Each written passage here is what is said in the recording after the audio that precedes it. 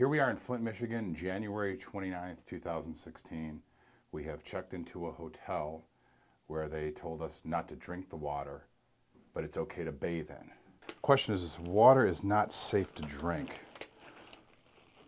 why is it safe to bathe and shower in? And this is the Water Defense Water Bug that we are going to use to mimic the way we all encounter water.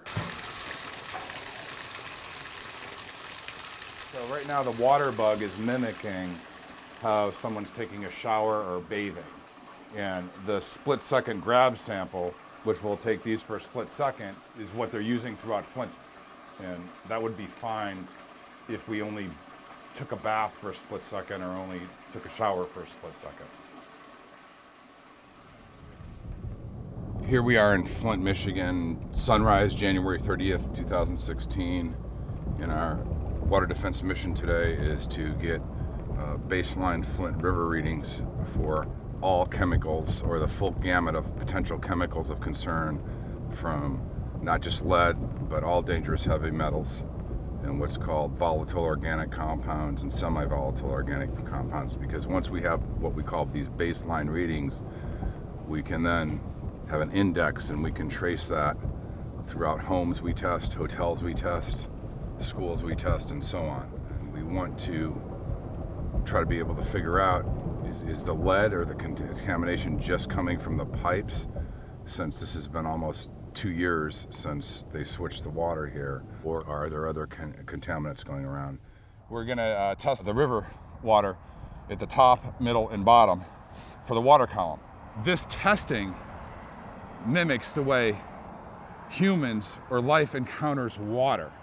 Uh, fundamentally, the instant grab sample testing that we're relying on, whether it's lead, metals, or any other chemicals in water, assumes that water is always in a steady state, equilibrium, or closed loop, which it is not. While helpful instant grab sample testing, when it yields a non-detect, that does not mean that there are no contaminants in the water. So here we go.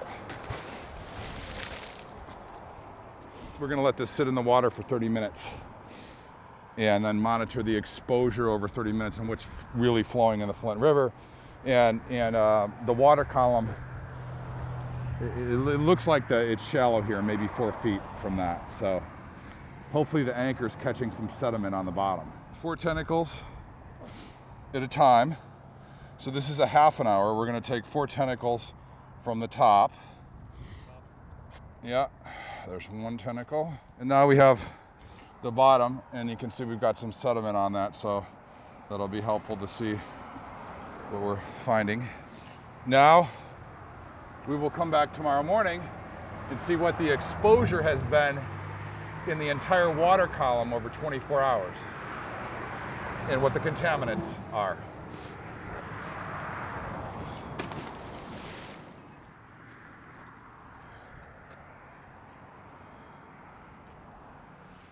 After reviewing testing results from private residences in Flint, Michigan today, we have learned that they're only testing for one or two chemicals.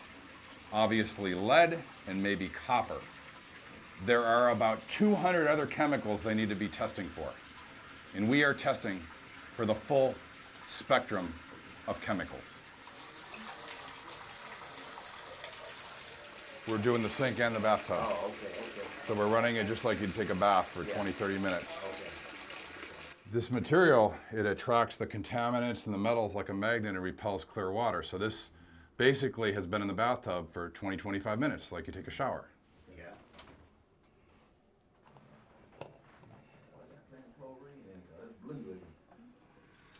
And we, so that is with the filtered water and we're going to let that run for about 20 to 30 minutes.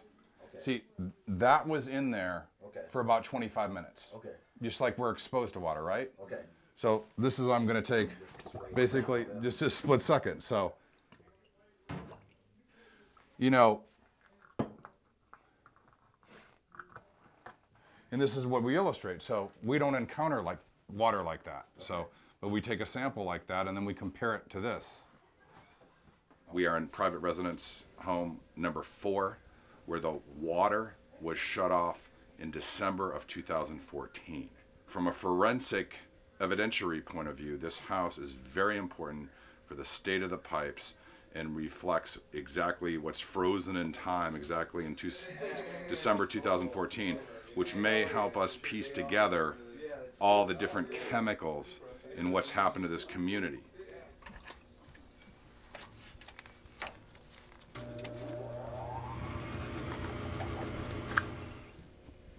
Water Defense specialized technology will uh, absorb and attract any contaminants that initially came out.